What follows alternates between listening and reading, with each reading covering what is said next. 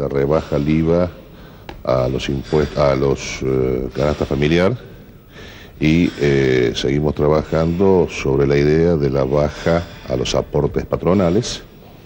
como una forma de incentivo y también eh, analizando la posibilidad de rebaja a los bienes de capital eh, este del Mercosur, no producidos en el Mercosur,